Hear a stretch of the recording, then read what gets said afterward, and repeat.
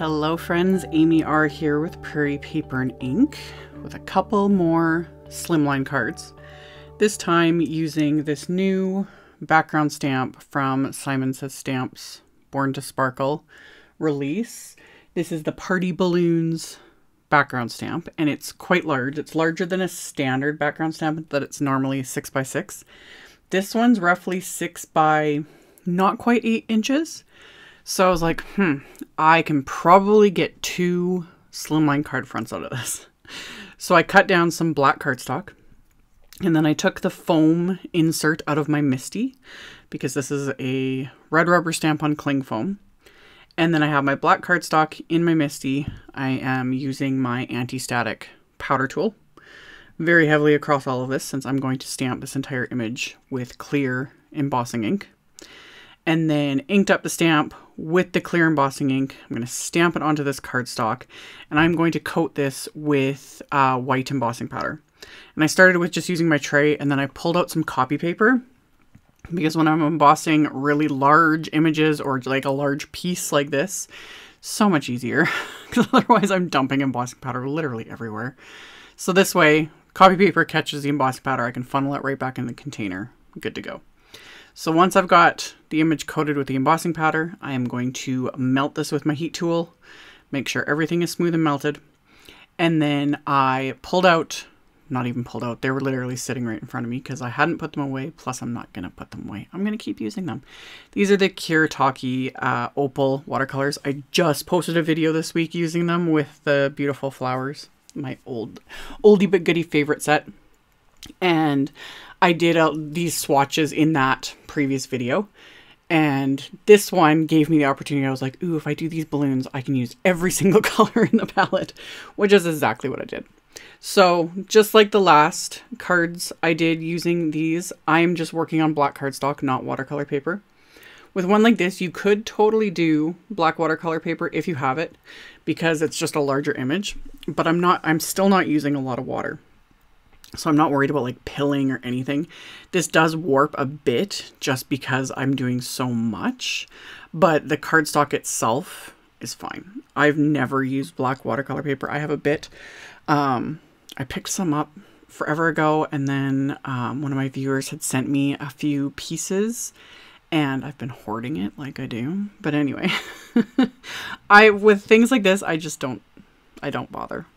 But you could totally, if you again, if you've got it, great. But I have no problem using just good black cardstock, and then just painting, and that's all I'm doing.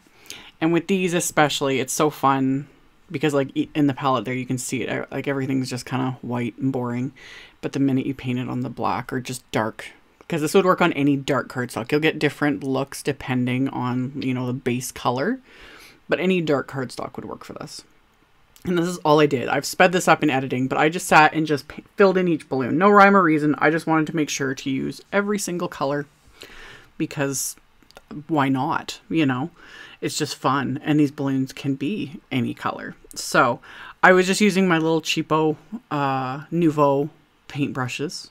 You can get a pack of these from Simon for, I'm not even sure how much. It's They're cheap.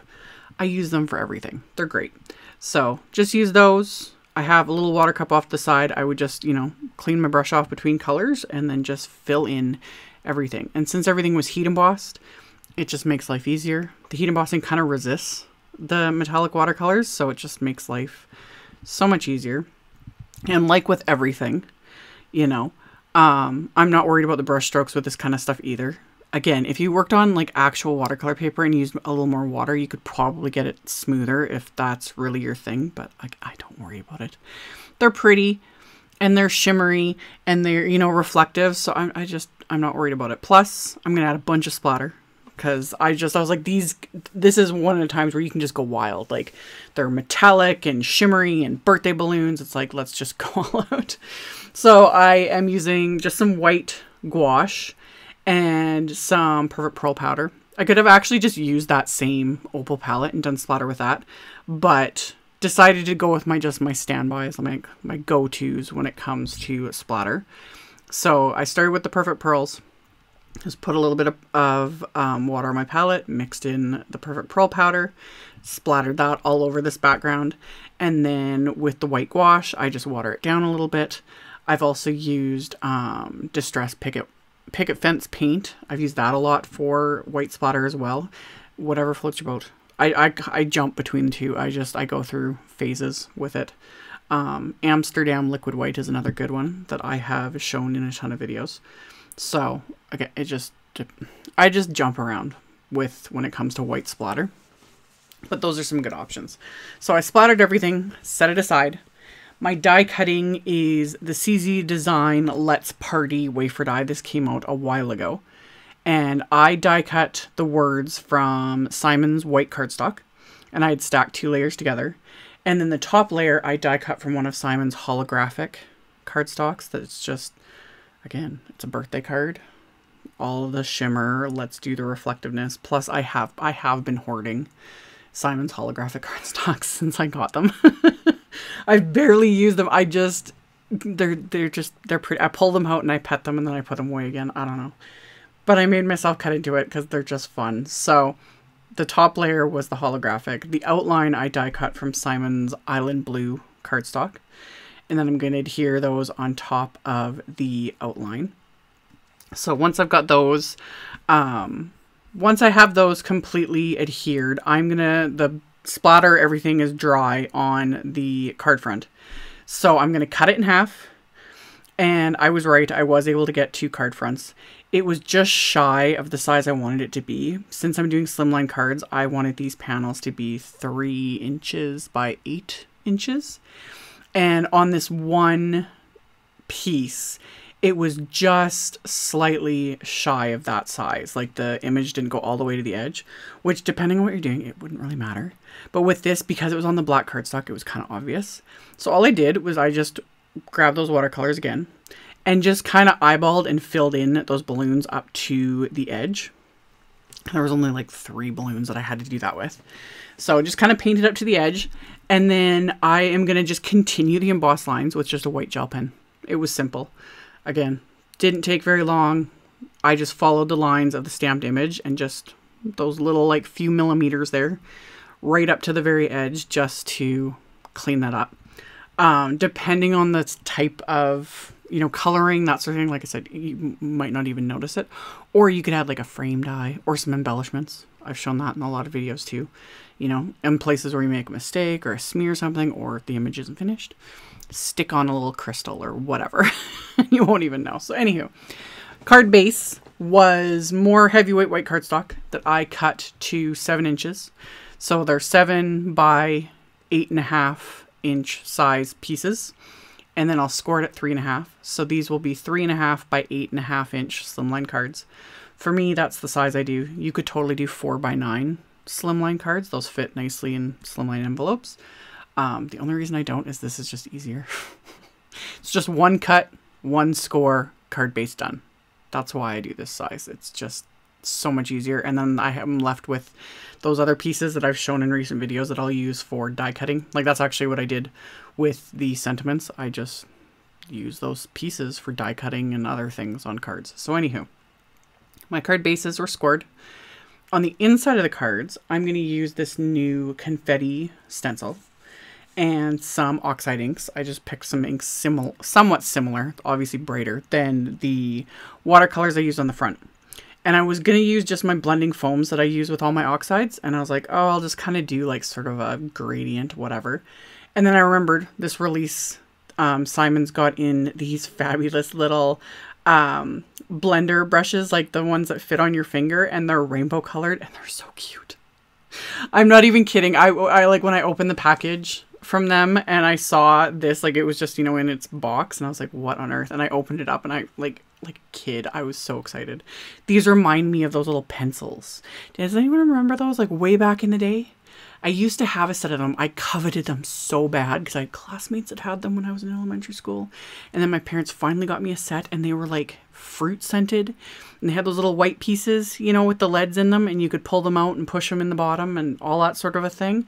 And I would sit and play with them all the time. And, you know, you wouldn't, you could never lose any of those pieces because they would make the entire pencil completely useless. So, That's what these reminded me of. Anyway, anyway, I used those little blenders and they have their brushes. They're not foams because like we've had those, you know, finger foam daubers since like the beginning of card making. These have the little brushes, so they're fabulous. I kind of might actually have to get a couple more sets of them because I, I love them. So I did quick and simple blending with them. I like the size because I could do the little confetti in different colors. And then just like I do with my regular blending brushes, I just rub them on a microfiber cloth. I do not wash my brushes like almost never. There's just no point, and I also have a ton of them, so I keep them for different color families. But that's all I do. I don't bother washing them. I just rub them really well on a microfiber cloth until no more color comes out and they're good. And then these I just stacked back together and I'm probably going to set them somewhere so I can look at them all the time because they're cute. But anywho, that was the confetti stencil on the inside. And then I had to add, of course, a couple sentiments. So I pulled out the CZ Design Stop Drop Party stamp set and a couple sentiments from it. And I'm just, I folded my card base inside out, stuck it in my MISTI, lined up the sentiments, made sure they were straight, and then I stamped them onto the insides of the cards with VersaFine Clair Nocturne ink. And now the card bases are done, so now I just need to adhere the card fronts. So I cut some doll pink cardstock to slightly larger than my card fronts just to mat it, bring out the fun pink and adhere those together with craft tacky glue.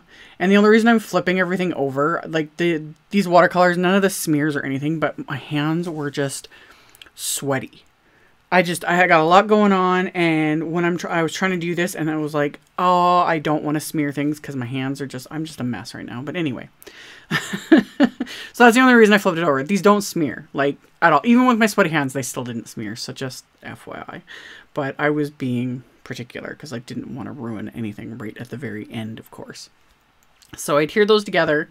I adhere the sentiments on an angle, which again for me is I just don't think this way. Like I try to make everything straight. But I was like, wait a minute, these look great on an angle. So that's what I did. And then I adhered them to their card bases. Again, just flip them over just to be safe, you know, because yeah, sweaty hands are the worst. Anywho, adhere those to the card bases. And then I'm going to pair these with some, I think they're called Blue Lagoon, but they're the same color as the cardstock, the Island Blue cardstock. So I paired those with the slimline envelopes. And that finished off these super fun, bright cards.